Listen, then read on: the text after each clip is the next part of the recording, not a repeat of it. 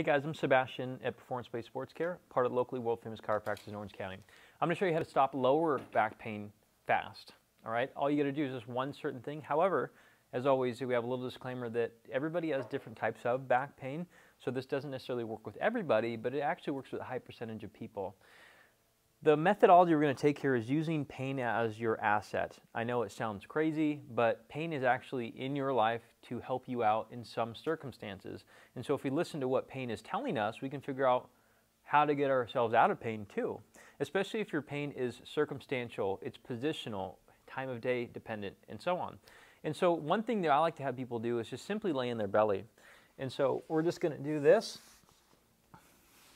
We're going to start with our hands kind of crossed like this, and I will get muffled, I apologize. And we just hang out here and breathe into the floor. Okay? If you take a look at my belly, you'll see that it's not necessarily dislodging itself from the floor, and I'm not trying to get skinny. I'm just letting my breath fall into the floor. Spend about 30 seconds in this position. Now, if this isn't perfect, you can actually creep your hands up a little bit and use a few fists to support yourself as well and breathe in and out for about 30 seconds. By the way, feel free to stop and rewind this video because I'm going to speed through these things. Next is you creep up into the elbows and get yourself a book, maybe an OMG magazine. Those are still around, right? No, they're not. Okay. Newspapers aren't, aren't either. I'm just killing time in this position. Sorry. My photographer's telling me no, that's not that's not around anymore.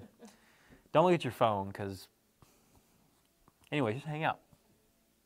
How does that feel? Breathe into the floor. Okay, so if you find that one of these positions is comfortable, more comfortable than another, you've found a way to use pain as your asset. And you just hang out in that position, and that's as simple as it is, all right? If you can get it so your pain reduces to a manageable 2 out of 10 versus a excruciating 6, 7, 8, 9, 10 out of, 10 out of 10, then this is an actual win.